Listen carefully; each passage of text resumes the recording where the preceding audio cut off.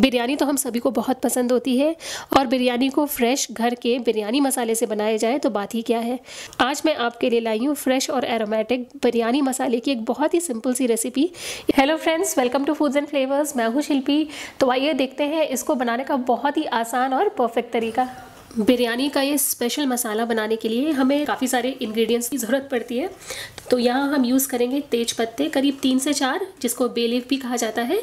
यह है सूखा हुआ धनिया।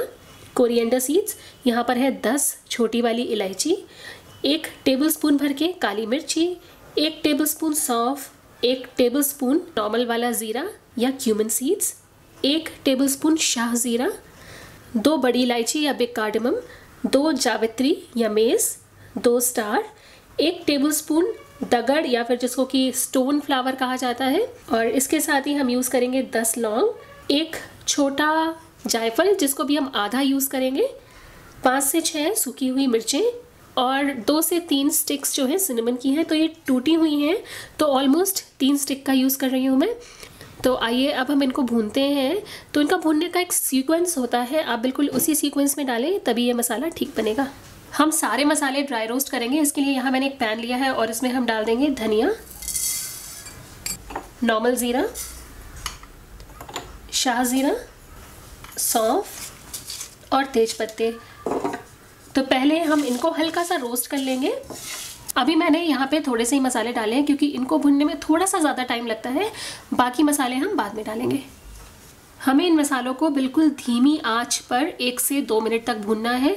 हमें इनको ऐसा ब्राउन नहीं करना है, बस जैसे ही इसमें से हल्की सी फ्रेग्रेंस आने लगेगी, हम इसमें बाकी के मसाले डाल देंगे।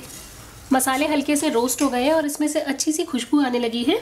हम इसमें डाल देंगे लौंग, जावित्री, स्टार, बड़ी इलायची, छोटी इलायची, काली मिर्च, स्टोन फ्लावर, दालचीनी और सूखी हुई लाल मिर्च। इनको हम अच्छे से एकदम धीमी आँच पे बस एक से दो मिनट तक और भुनेंगे।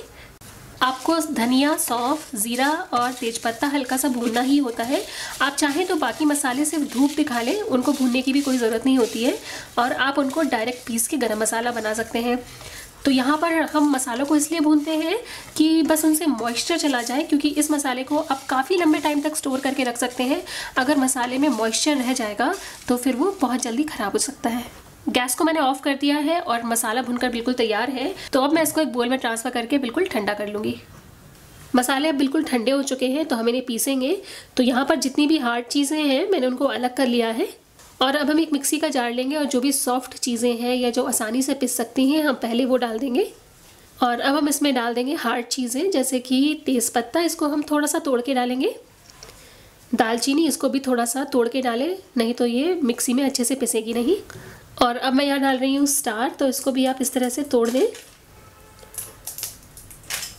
और यहाँ मेरे पास है जायफल तो जायफल मैंने पहले निकाल लिया था। हम करीब आधा जायफल इसमें घिस देंगे।